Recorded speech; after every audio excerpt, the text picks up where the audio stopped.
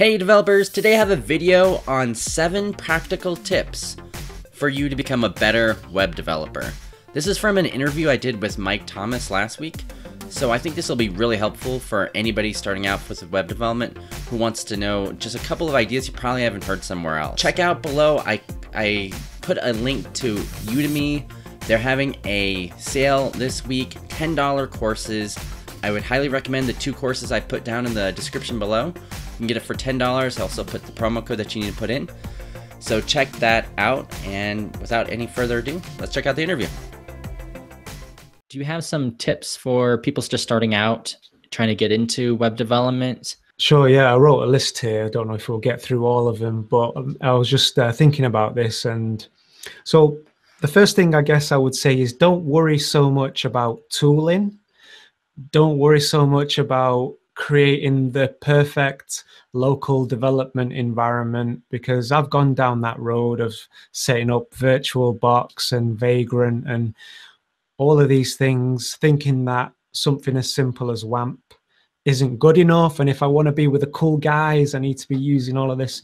And I just ran into a load of Windows errors and um, things not being the right version number. And don't worry about that in the beginning. Just get the fundamentals down, your HTML, your CSS, and then if you know that you want to be a front end uh, developer, go into JavaScript. But I'll move on to the next one. Now, this depends on if you want to be a freelancer or if you want to work for an agency. But if you do want to work as a freelancer, it's a good idea to keep up to date with SEO, even though it might not be something that really interests you it definitely is going to be of interest to your clients. If you're working one on one with clients, they're going to ask you about that stuff after you've built the website. They're going to want to know about uh, Google adverts. Should they be doing it? Uh, Google um, pay per click advertising, that kind of thing. So keep up to date with that. There's a few good podcasts out there. One is SEO 101 when you start a project, bookmark it. What do I mean by that? I use Google Chrome. You might use a different browser, but I, I don't know about the others. But on Google Chrome, you can bookmark it. Uh, sorry, you can bookmark a website. So that's all the resources that you need for the project. Maybe you're looking at a website and it inspires you.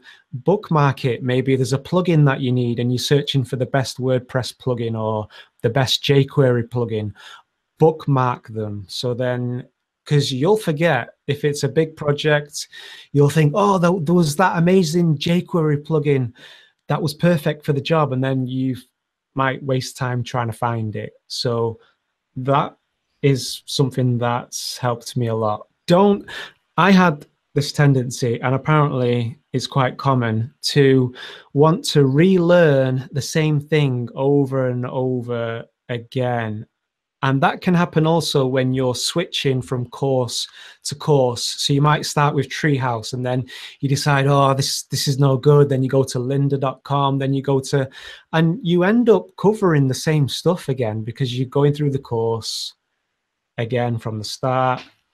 It's okay to move on.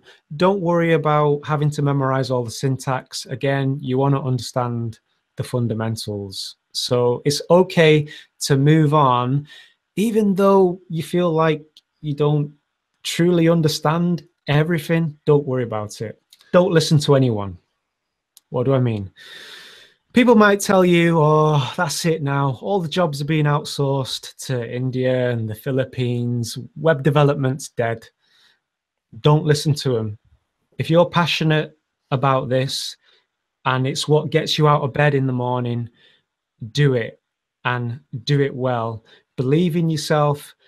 There's plenty of work out there. Yes, we may need we may need to pivot because technology is always changing, the market is always changing, but you got to believe in yourself. Learn what you're interested in learning. If you're if you're not really if you if you don't get turned on by learning agile and scrum, maybe someone's told you right you need to you should be learning this if it's not what turns you on and there's something else that you're just itching to get to go for the one that you're itching to get to. Learn that and follow that thread. I don't think it does you any good to be learning things for the sake of learning it because you're going to forget most of it anyway because words don't teach life experience teaches. You don't truly know agile just by reading about it. You're going to learn about it by being involved in a project that uses agile. Try and have some kind of a boundary between your work life and your free time and this really is, I guess, for freelancers.